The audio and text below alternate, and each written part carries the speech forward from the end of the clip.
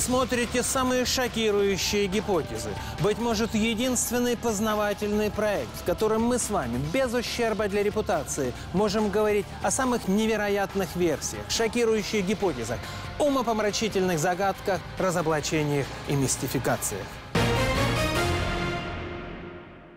Как известно, согласно теории эволюции, человек произошел от обезьяны, потому что много и упорно трудился и много думал.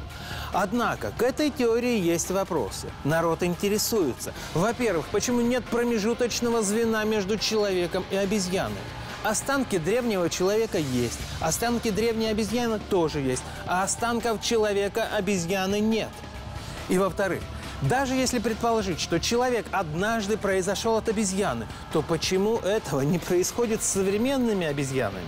Например, с шимпанзе. Это существо исключительно умное и сообразительное, умеет палкой сбивать плоды, раскалывать камнями кокосы. Они даже улыбаются, как люди. Однако эта обезьяна как была обезьяной сотни тысяч лет назад, так и осталась. Даже окрас не изменился. Где же обещанная Дарвином эволюция?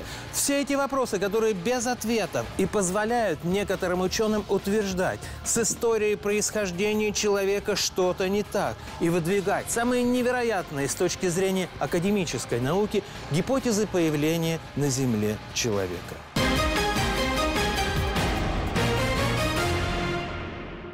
Сегодня в нашей программе вы увидите. Сенсационная утечка секретной информации. Против кого США применили мать всех бомб? Они обнаружили там не прячущихся талибов, а гиганта. Рыжего шестипалого гиганта ростом более трех метров и весом более 450 килограмм. Ледяной заговор молчания. Кого скрывает Антарктида? Обнаружены так называемые стазисные камеры, в которых находятся люди-гиганты огромных размеров. Новые находки скелетов гигантов. Кто изучает эти невероятные кости? При раскопках котлована были найдены шесть саркофагов, где находились тела от 3, 3,80 до 3 метров 80 сантиметров до 4 метров 20 сантиметров. Скрытое сокровище прошлой цивилизации. Где хранится оружие исполинов? Наступает какое-то оцепенение, причем такое чувство, что на тебя кто-то пристально смотрит.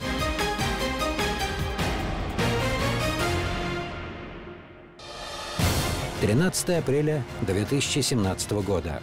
Афганистан. Эти кадры мгновенно стали мировой сенсацией. С американского военного самолета сбрасывается бомба, несущая гигантский заряд.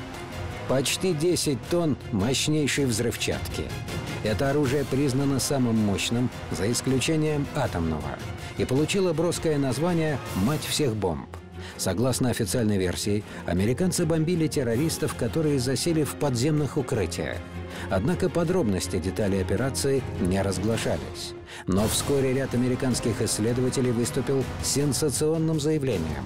По их версии, мишенью сверхмощных бомб были отнюдь не террористы, а представители подземной цивилизации гигантов. И самое страшное, война между человечеством и расой гигантов только начинается. Ведь главные силы расы гигантов ждут своего часа в специальных камерах, которые скрыты во льдах Антарктиды.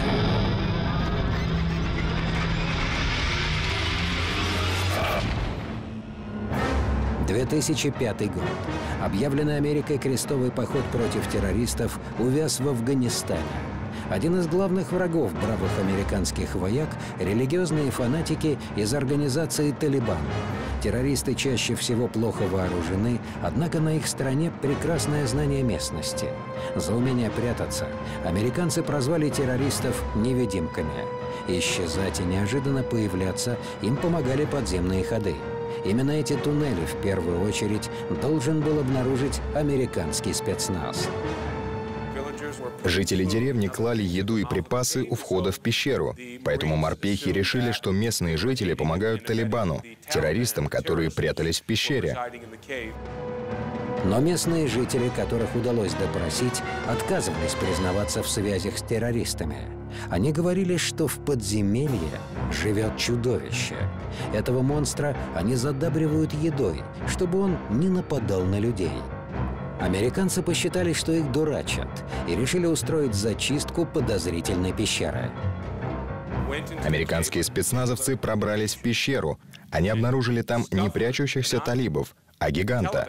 Рыжего шестипалого гиганта ростом более трех метров и весом более 450 килограмм. Они попытались захватить гиганта, а тот, очевидно, убил несколько военных. По крайней мере, одного точно, до того, как умер сам. Исследователи Тимоти Альберино и Стив Квейл – известные авторы книг и документальных фильмов, посвященных теме гигантов.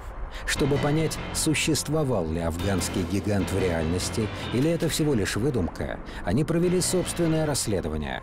Данные, которые им удалось добыть, просто невероятны.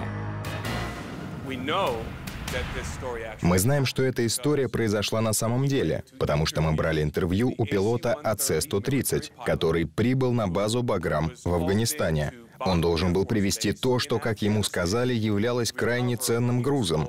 Он сел на авиабазе, приземлился в Баграме и увидел, что этим грузом являлся трехметровый гигант. Что касается веса этого монстра, то пилот запомнил его с точностью до грамма. Все дело в том, что все контейнеры, которые окажутся на борту, должны быть тщательно взвешены, чтобы избежать перегруза. Странное существо весило почти полтонны, 450 килограммов. После того, как пилот загрузил труп гиганта в АЦ-130, он прилетел в Катар.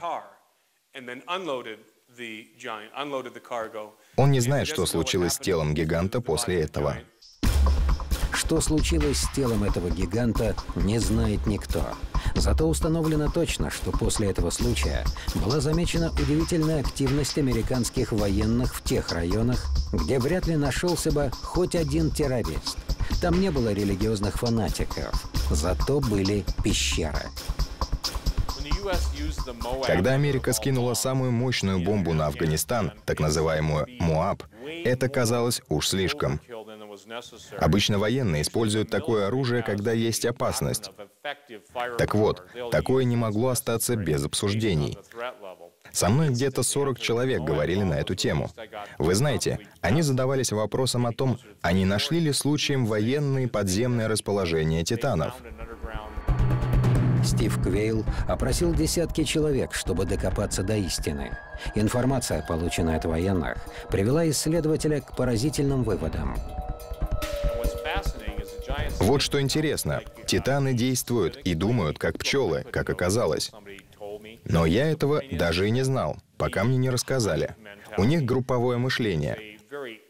Поэтому я думаю, что сброс той бомбы уж точно не соответствует официальной версии, которой прикрывались военные. Поэтому вывод напрашивается о том, что что-то там было.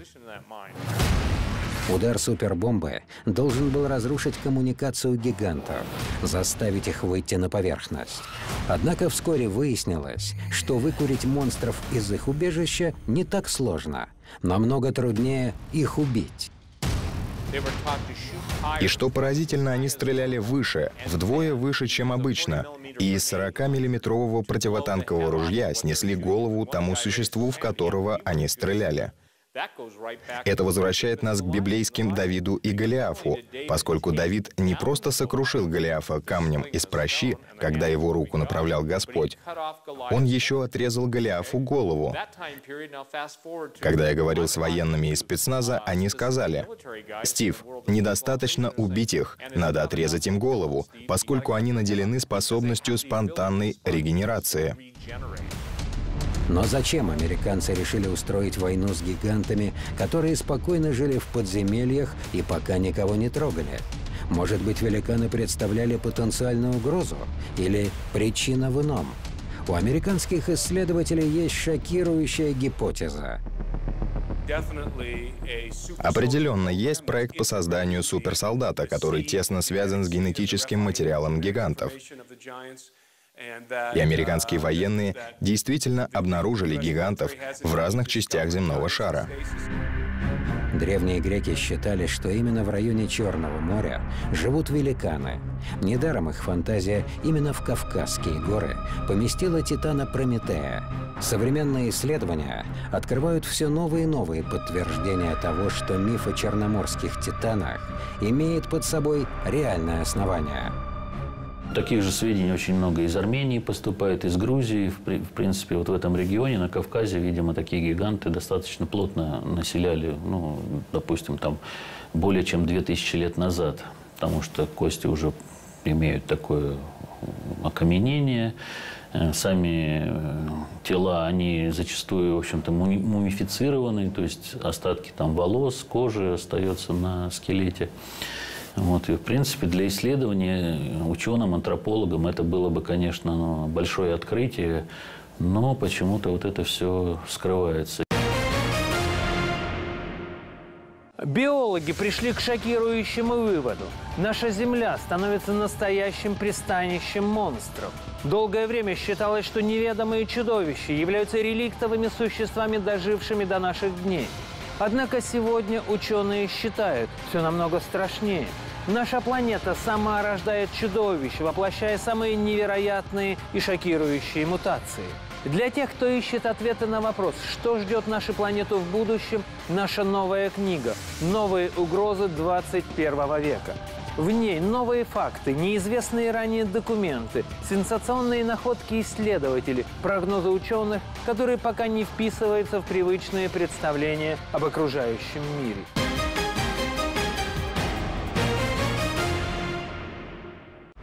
Куда увозят гигантские кости?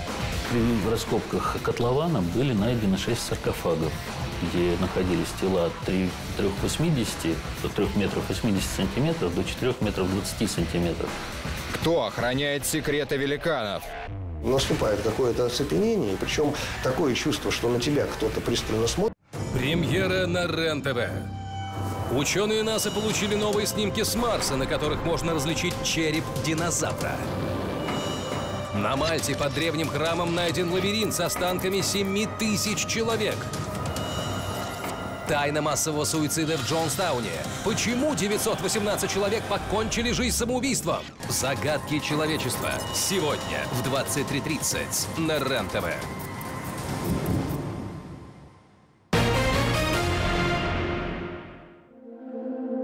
Как уверяют независимые исследователи, именно Крым и Краснодарский край были настоящими заповедниками гигантов.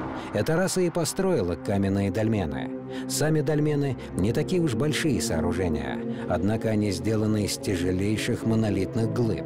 Для современной науки остается вопрос, как древним людям удалось затащить на гору такие монолиты, если, конечно, они не были великанами. Если дольмен найден где-то в труднодоступном месте, и он запечатан, то приезжают некие бородатые дядечки из Москвы и заставляют нашедшего подписать подписку о неразглашении об этом дольмене или об этой находке. Вот. Такие случаи тоже бывают. я общался с такими людьми, которые давали такую подписку. Недавно мне товарищ один написал, что вот в Карачаево-Черкесии буквально недавно экскаваторщик копал яму и перерубил случайно голову огромной змеи, которая была под землей. Вот он эту голову притащил домой, она была больше, чем коровья голова по размеру. Лидер одной из организаций, исследующих аномальные явления, Игорь Соколов, собирает всю информацию о великанах. Как утверждает Соколов, недавно возле черноморского села Просковеевка была сделана сенсационная находка. Об этом исследователю сообщила женщина, местный краевед. При раскопках котлована были найдены шесть саркофагов где находились тела от 3,80, до 3 метров 80 сантиметров до 4 метров 20 сантиметров. Вот, они были вскрыты, ей удалось их сфотографировать. Вот, ночью прошел сильный ливень, и вот этот сель, который сошел с горы, в общем-то, закрыл полностью вот найденные саркофаги. Но их потом заново откопали и на вертолетах вывезли вместе вот с телами. Однако Краснодарский край не единственный заповедник гигантов на территории нашей страны. Исследователь-путешественник Игорь Мочалов долгое время скептически относился к существованию великанов. Все изменилось, когда Игорь лично столкнулся с уникальным феноменом, объяснить который можно только одним – великаны действительно существуют. Первым странное место обнаружил приятель Игоря. И как-то, значит, встречаемся мы вечером в лагере, у него глазища такие, значит, по как блюз. Говорит, слушай, говорит, я говорит, там такую говорит, вещь видел, вообще там такое странное место, пойдем посмотрим. Вот. И пошли мы, значит, э, на ту сопку, которую он указал, а впоследствии я уже потом, как э, выяснил, значит, там не только, э, не только, значит, следы пребывания тех великанов, но еще и куча всего Совершив непростое восхождение, Мочалов увидел странную инсталляцию, которая впоследствии получила название «Пикник великанов». Представьте, семейная э, пара и трое детей. А пошли э, ну, куда-нибудь э, в поход туристический, там, отдохнуть и так далее. Ну, разбили, значит, лагерь, э, сели перекусить, посидели там, посмотрели и ушли. И забыли после себя коврики, на которых сидят, ну, вот эти вот, которые не пропускают температуру, пенки, как мы их называем, маленькие. Исходя из размеров этих ковриков, исследователь сделал вывод, что предполагаемый рост этих доисторических туристов должен был составлять по меньшей мере 3 метра. Но, может быть, это всего лишь игра природы? Вскоре Игорь Мочалов нашел подтверждение, что странные объекты, скорее всего, искусственного происхождения. Детские коврики э, сделаны из обработанного камня, частично гранит и частично, ну, я этот камень на Кольском полуострове встречал очень редко и в определенных э, местах, о которых я расскажу чуть позже. Как мне э, сказала э, женщина, значит, минералог, это спрессованный песчаник. Откуда на Кольском полуострове спрессованный песчаник, да еще наверху сопок, ну, я не знаю. Окончательно ответить на вопрос, кто же на самом деле создал эти странные объекты, смогло бы тщательное исследование в стационарных условиях лаборатории. Игорь Мочалов попытался взять один из образцов, но не тут-то было. И вот тут э, начались странности. Кто бы ни пытался это сделать, я это пытался сделать, это пытались сделать мои друзья, которых я туда приводил. Говорю, слушай, я даже не говорил, слушай, вот лежит вещь, возьми ее. Не получалось взять ни у кого. Вот э, наступает какое-то оцепенение, и причем такое чувство, что на тебя кто-то пристально смотрит. Новые исследования привели Игоря к удивительным открытиям. Оказывается, он был не первый, кто интересовался странными объектами. Неподалеку от пикника великанов были обнаружены постройки, сделанные немцами. Этот район был оккупирован во время Второй мировой войны. Проведя собственное расследование, Игорь Мочалов обнаружил следы деятельности легендарной оккультной организации нацистов АННРБ. Все слышали об этом исследовательском проекте нацистов наследие буквальный перевод. И он включал многие сотни институтов исследовательских. Наиболее известный проект – это поиски Шамбалы. Причем уровень как бы, этого проекта можно охарактеризовать очень просто, сказав, что его руководителем был Вернер фон Браун. Именно этому немецкому ученому и изобретателю удалось создать первую в истории баллистическую ракету. Его железные детища, ракеты Фау-1 и Фау-2, были беспрецедентными изобретениями для того времени. Два известных инженера-ракетостроителя, возможно, самых лучших в истории НАСА, доктор Вернер фон Браун и Герман Хубер, высказались о том, что есть только две технологии — наша и чужая. Немцы были не умнее, чем остальные европейские ученые, но они просто получили помощь, с другой стороны по мнению Стива Квейла, прорыв немецкой техники объясняется тем, что они нашли высокие технологии, принадлежавшие древней расе гигантов. И многие открытия немцы могли сделать именно на территории России. Вы видите уникальные фотографии, которые сделал Игорь Мочалов. Недалеко от так называемого пикника великанов построен мост из обработанного камня – под непосредственно этим пикником, значит, э, то ли немцы, то ли кто-то до них, значит, э, сделали переправу на абсолютно ненужном, непонятном озере на ту сторону. Это, скажем так, каменная насыпь, э, хорошо утрамбованная. Немцы искали следы древней доисторической цивилизации. Но что представляют из себя эти артефакты? Этот меч, по преданиям, обладал особой магической силой. Он мог разить врага на расстоянии и в любом количестве. То есть никакой враг, даже вот э, орда врага не могла просто подойти к богатырю, который обладал этим мечом. То есть стоило ему провести один раз, и как целый вот э, близлежащий, так сказать, нападающий враг, там вот целый отряд мог просто быть э, повержен этим мечом. И вот, конечно, это интересный такой факт, Какие, какой, какой силой обладал этот меч, неизвестно. То есть, возможно, это было некое технологическое оружие. Речь идет о мифологическом мече-кладенце, который по преданию был передан Илье Муромцу, другим богатырем, Святогором. Интересно, что, согласно всем источникам, Святогор был исполинского роста. И есть случаи, когда люди находили мечи длиной от двух до трех метров. Трехметровые мечи? Каким же ростом должен быть воин, который фехтует подобным оружием? По одной из версий, один из таких мечей спрятан в Рязанской области, где находилась древняя столица Великого Рязанского княжества. В 1237 году она была уничтожена во время нашествия монголов.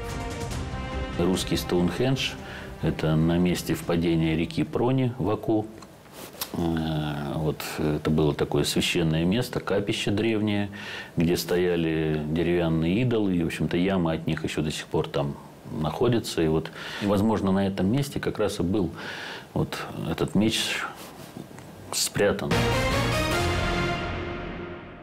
А теперь внимание! 6 ноября впервые на нашем канале «Русские булки». Программа «Провокация», в которой мы покажем, что такое русский человек за границей, который готов простить дурака, но может и в морду дать, если наглецы распоясались. Раскроем факты русской истории, которую по злому умыслу, а может по скудоумию, так безжалостно переврали немецкие авторы наших учебников Миллер и Шлёцер.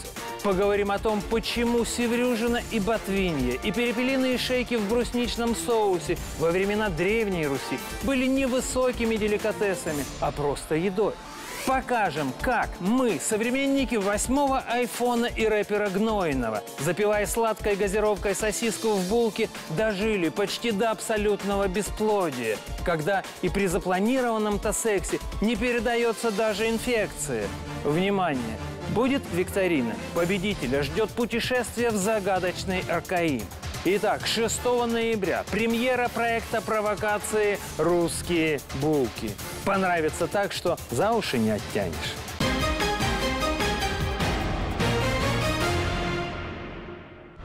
Откуда на Земле взялись великаны? Гиганты не были доброй расой, сошедшей с небес. Это были очень злобные существа. Люди были их врагами. К чему стремилась раса исполинов?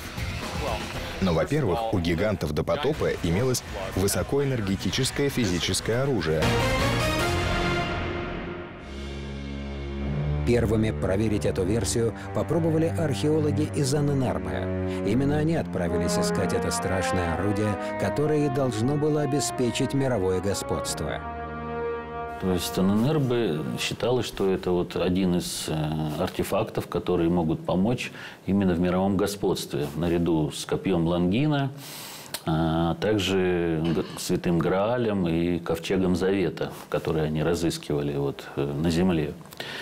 И, в общем-то, немецкий фельдмаршал, который возглавлял группу армий «Центр», которая стояла как раз вот э, ну, должна была захватить Рязанские земли. В общем-то, отправил туда группу. Что именно произошло с исследовательской группой, до сих пор неизвестно. По одной из версий, она погибла или была переброшена на север. Ведь именно там, в Хибинах, крупнейшем горном массиве на Кольском полуострове, и могла проживать раса великанов.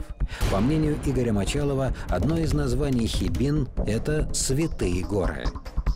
Хибины они уникальны чем? У них верхушки плот, плоские абсолютно, как стол. У них нет пиков, то есть по ним реально можно ходить. И вот такая вот э, произошла взаимосвязь. Хибины, Святые горы, Святогор, Илья Муромец. Э, то есть вот оно вот то есть, может это совпадение, может это прямое упоминание. Опять же, э, в самских легендах существует некий такой деятель по имени Куева, вот, смешное название, великан, значит, отморозок, который э, бегал по этим хибинам, значит, и всячески чудил, и всячески людям, значит, э, вредил. Удивительно, но след этого великана сохранился не только в легендах жителей Кольского полуострова Саамов. Даже сегодня каждый из нас может увидеть то, что осталось от этого великана. В итоге, значит, он э, добегался и допрыгался, разгневил богов. Они его, значит, э, чем-то бахнули. И бахнули так, что, собственно, осталась от него тень. И, опять же, когда смотришь на эту скалу с изображением этого Куева, его называют еще пляшущий человечек.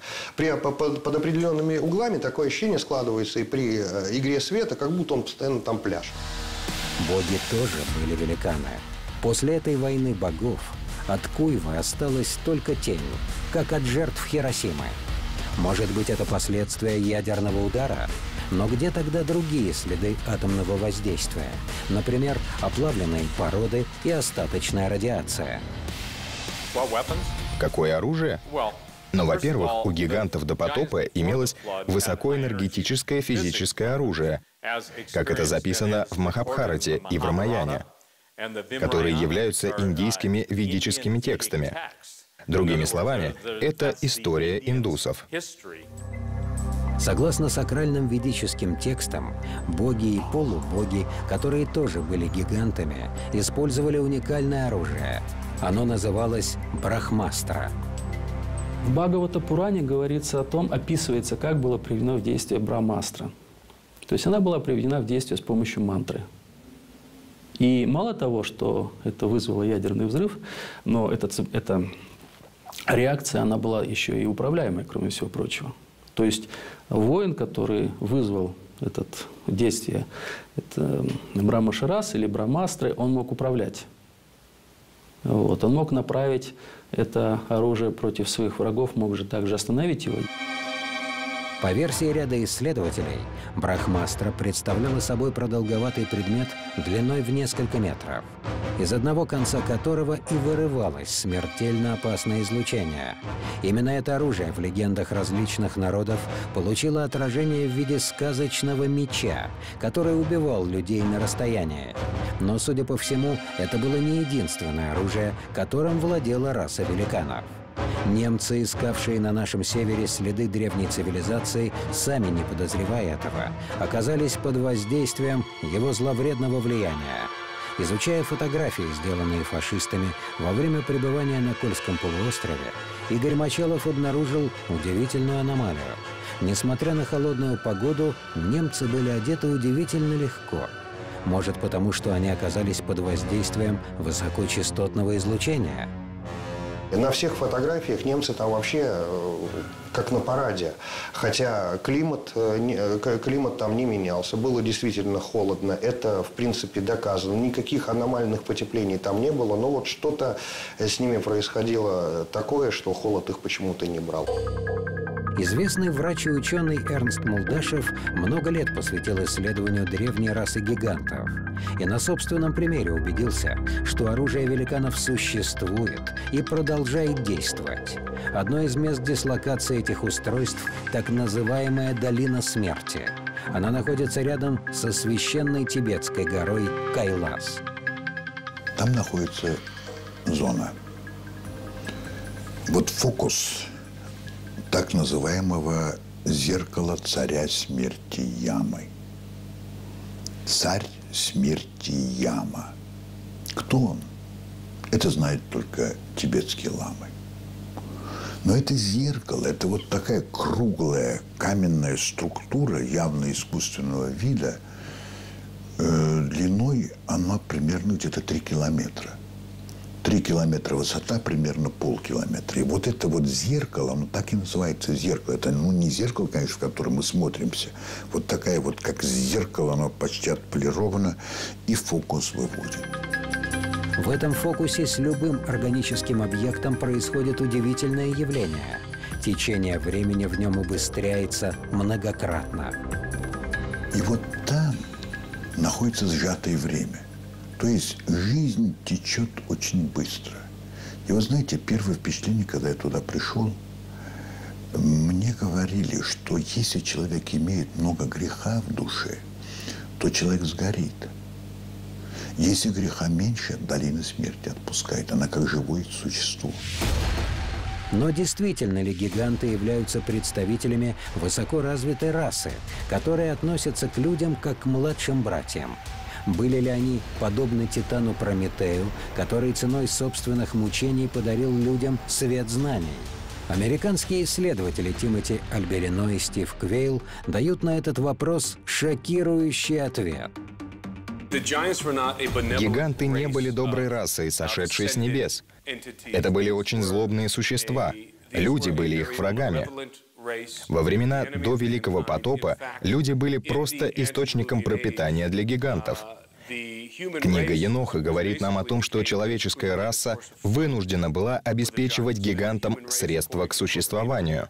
И когда люди больше не могли быть источником пропитания, гиганты ополчились против людей и поглотили их. Кровавые жертвоприношения ацтеков до сих пор являются одной из самых жутких страниц мировой истории. У еще живых людей вырывались внутренности, и бьющиеся сердца приносились в жертву богам. Однако до сих пор остается вопросом, кем были эти боги? Средний конкистадор носил рапиру, как та, что я держу в руке. От основания рукоятки вот здесь, до кончика меча, 107 сантиметров. И в среднем у человека от глазницы до задней стороны черепа от 15 до 20 сантиметров. Согласно записям конкистадоров, они во многих местах на американском континенте находили гигантские черепа. У бравых испанских вояк не было с собой линейки, и поэтому они использовали рапиру, которая полностью погружалась в гигантский череп. Они измеряли черепа, просто прикладывая рапиру в глазном гнезде и касаясь задней стороны черепа. Получалось 107 сантиметров. Это верно говорит о 10-метровом росте исполинов. Как поведали местные индейцы конкистадорам, останки исполинов не относились к далекой древности. По мнению аборигенов, гиганты были частыми гостями этих мест, вплоть до прибытия на континент европейцев. Согласно этой истории, гиганты приплыли с моря на лодке. Приплыло целое племя гигантов на корабле. Все они были мужчинами. Они были ростом 4,5 метра. В источнике говорится, что обычные мужчины доходили гигантам ровно до колена, потому что некоторые из гигантов были выше, чем 4,5 метра. Особенно много гигантов высадилось на территории, где сейчас находится провинция Санта-Елена, государство Эквадор. Там гиганты устроили кровавую вакханалию, занявшись истреблением местного населения.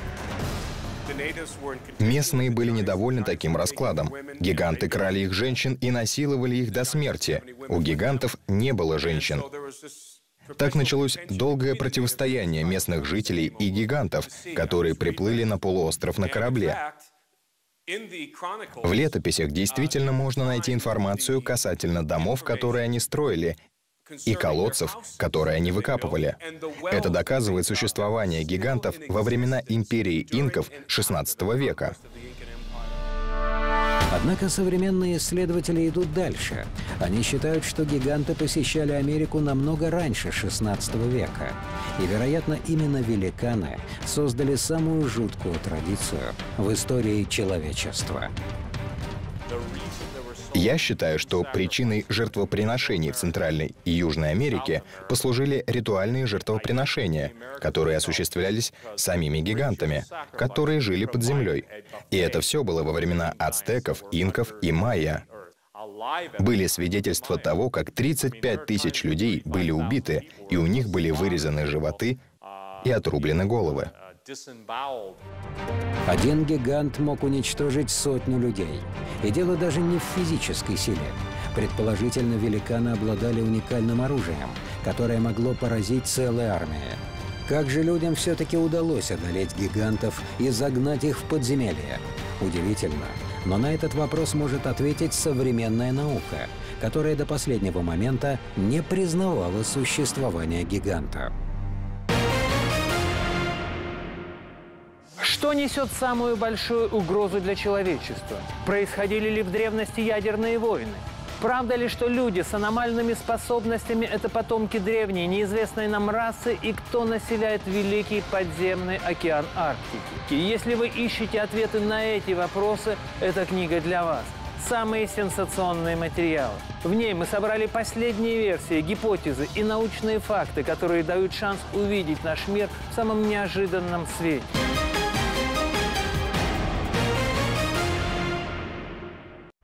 Где хранятся запретные доказательства существования великанов? Эти зубы были в шесть раз больше, чем зубы человека. Что знали о гигантах составители Библии? Так вот, в древнееврейском языке есть такое понятие слова «гиборим», то есть великаны, исполины, гиганты – Эта удивительная находка до сих пор вызывает шок у мировой общественности. Все началось в 1935 году, когда голландский антрополог Ральф фон Кёнигсвальд изучал различные диковинки в лавочках и аптеках Гонконга. В одной из таких аптек, торгующей экзотическими снадобьями, антрополог обнаружил зуб дракона. Во всяком случае, именно так называл странный объект продавец. Эти зубы были в шесть раз больше, чем зубы человека. И фактически это, собственно говоря, а, дал, дал толчок э, к исследованию. Потом он объездил очень много аптек. Почему аптеки? Потому что китайцы собирают эти, как они считают, зубы дракона и перетирают их в порошок и готовят из них снадобья. Голландский ученый никогда не видел драконов и не знал, как устроены их зубы. Зато ему было определенно известно строение зубов человека. Выяснилось, что клыки дракона очень сильно напоминали человеческие. После этого стала вот эта вот развиваться гигантоидная теория. Э, обнаружено было масса зубов, вот, и в 50-е годы еще один момент э, были обнаружены пещеры гигантопитека, где уже, так сказать, захоронены были а, вот эти вот зубы и остатки челюстей. Но были ли эти гиганты разумными? Или они были всего лишь огромными человекообразными обезьянами? Современная антропология способна ответить на этот вопрос на основании всего лишь изучения найденных челюстей с останками клыков.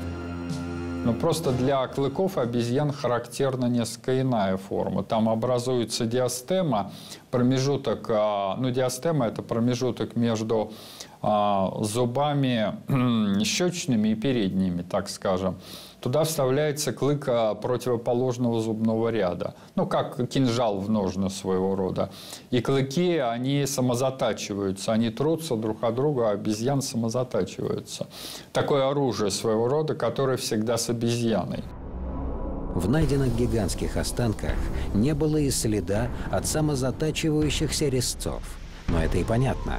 У человека главное оружие не зубы и когти, а его разум – а эти гиганты, безусловно, были разумными. Они могли говорить. Об этом также свидетельствуют особенности костного строения. Ученые-антропологи, словно криминалисты, на основании останков пытались разгадать, что же произошло с расой гигантов. Почему она замолчала навсегда. И затем уже в пещерах гиганта Питека в 1956 году были найдены уже и челюсти, эти огромные челюсти совершенно. Причем подбородочный выступ уже исчезал, то есть фактически его не было. А подбородочный выступ на нижней челюсти, он говорит о развитой способности к речи. То есть, таким образом, это свидетельствовало о том, что гиганты постепенно теряли речь, социализацию. Видимо, они ушли в автономное плавание. Получается, что великаны начали деградировать, вымирать, а окончательно их добил некий глобальный катаклизм. Что это была за катастрофа? Ответ на этот вопрос, по мнению ученых, нужно искать в священных рукописях. Так вот, в древнееврейском языке есть такое понятие слова «гиборим», то есть великаны, исполины, гиганты. Значит, и вот это племя было прегордым, злонравным, склонным к насилию, к убийствам, ко всякому греху. И фактически настолько расплодилось по ветхозаветной версии на земле, что весь мир, созданный Богом, исполнился греха, нечестия, блуда. Причем блуда э, в самых извращенных формах. Согласно библейской версии, чтобы покончить с бесчестными гигантами, Господь решил устроить на земле потоп. Спастись должен был только праведник Ной, рост которого не сильно отличался от обычного человеческого. Он по указанию Бога стал строить ковчег, то есть огромный деревянный ящик, да, плавучий, в котором он собрал тех, что по божественной милости был избавлен от гибели в волнах потопа. А исполины, нечестивые гиганты, издевались над ним, говорили, что он там строит и так далее и тому подобное. За это Господь их погубил. Надо сказать, что это не самый древний вариант сказания о потопе. Все подобные рассказы имеют общий сюжет. Гиганты гибнут в пучине. Если мифы и легенды описывают реальный катаклизм, то причина исчезновения гигантов ясна. Остается необъяснимым только один факт. Несмотря на все усилия антрополога Ральфа фон Кёнигсвальда, так и не удалось обнаружить целый скелет гиганта Питека. Были найдены только зубы и фрагменты челюстей. Чем же можно объяснить подобную аномалию? А зубы – это наиболее как бы твердые субстраты. Он, там эмаль твердая и, собственно, цемент, вот этот дентин, ну и так далее. Это все очень, так сказать, хорошо сохраняется. Догадку антропологов подтверждает практика криминалистов. Именно зубы дольше всех выдерживают воздействие высоких температур, едких кислот, тяжелых механических повреждений. Именно это обстоятельство привело ряд исследователей к мысли, что гиганты погибли отнюдь не своей смертью, а попали под воздействие какого-то ужасного оружия. Так кто и зачем охотился на древних гигантов? Ответ на этот вопрос может шокировать. Вероятно, причиной гибели гигантов-людоедов были другие исполины. Так вот, последняя предшествующая нам цивилизация была цивилизация атлантов. От ней описывает Платон в своих диалогах Тимей и Критий. Э, эта цивилизация погибла до него за 9,5 тысяч лет. То есть от нас где-то 12-12,5 тысяч лет она существовала. Погибла в одночасье и погрузилась в пучину моря. Впрочем, так же, как и Гиперборея. Э, э, схожая у них участь, обе, обе погибли. Одна в Северном Ледовитом океане, другая в Атлантическом. И атланты, и гиберборейцы были намного выше обычных людей. Как утверждают легенды, между двумя государствами великанов началась война на уничтожение. По этой причине и Гиперборея, и Атлантида погибли. В этом глобальном конфликте не было победителей. Но можно ли верить подобным легендам? Известный писатель и путешественник Вадим Бурлак лично встречался с потомками великанов-атлантов.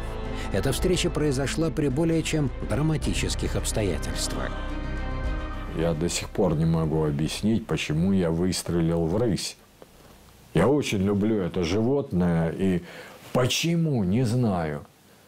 Но я только зацепил, и рысь вместо того, чтобы бежать, как обычно, вот при выстреле, при появлении человека, она прыгнула и не перегрызла мне глотку, а просто как-то сбила, я с откоса покатился, в общем, рысь в одну сторону, я в другую, и ручей. Вот ручей меня спас, потому что ледяная вода, потому что от удара я потерял, наверное, сознание, но вот этот ледяной ручей меня вывел, э, привел в себя.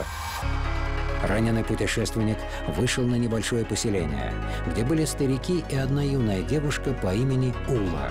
Жители называли себя особым народом Алны, хотя внешне практически ничем не отличались от русских. Насчет великанов не было разговоров. Вот этот Иван, который, ну, старший вот из этих шестерых был уже, ну, старик тогда мне казался. А вот от Улы, это единственная юная, э, ну, девочка, девушка там лет 20 ей было, она эту фразу сказала, что да, наши предки были высокие, светловолосые, голубоглазые. Но я про себя, я столько уже до этого слышал вот это вот, эту фразу, от народов э, разных, э, и в Азии, э, да, в основном в Азии, что вот наши предки были высокие, там, светловолосые, голубоглазые, что я, ну, про себя, честно говоря, ну, даже не воспринял это всерьез. Однако вскоре Бурлак убедился, все, что говорят Алны, не сказки, а настоящая реальность. При помощи трав и особых заговоров Алнам удалось буквально за несколько дней полностью вылечить путешественника.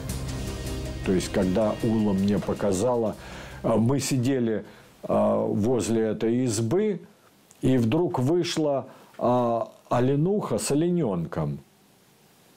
И Ула какой-то жест, какой-то звук, я даже не понял, ну, не обратил внимания. Ну, думал, сейчас они убегут, олени. И вдруг оленуха и олененок подошли к Уле. Она тоже встала, подошла к ним, то есть... А, и что-то она шептала там, значит, и потом говорит, ну, подошла, вернулась ко мне, оленуха медленно ушла, и олененок – она говорит, ну все, олененок будет э, жив, здоров, все нормально. Я говорю, это что, вы приуча... приручаете? Она говорит, да нет, это дикий. Я говорю, как? А, а как это? Э, не убежали? Как это ты смогла подозвать? Говорит, ну вот мы владеем этим. Алны каким-то образом могли воздействовать на животных. Но откуда у них такие способности? И кто были их предки исполины? Недавно один из исследователей истории гигантов, американец Кори Гуд, выступил с сенсационным заявлением. Как утверждал исследователь, он получил доступ к секретной информации. В Антарктиде и при полярных областях, э, граничащих, э, с Северным полюсом, обнаружены так называемые стазисные камеры, в которых находятся люди-гиганты огромных размеров.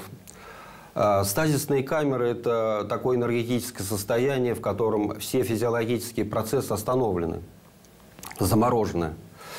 И он утверждает, что а, об этих стазисных камерах известно очень давно правительству, еще со времен Авраама Линкольна якобы. Изменение климата может привести к тому, что оборудование, поддерживающее жизнедеятельность гигантов, выйдет из строя, и великаны проснутся. Что случится с человечеством в этом случае, зависит от многих факторов. И прежде всего нужно ответить на вопрос, кто и зачем усыпил на тысячелетия гиганта. Пока это остается самой большой тайной, даже само существование которой скрывают от человечества.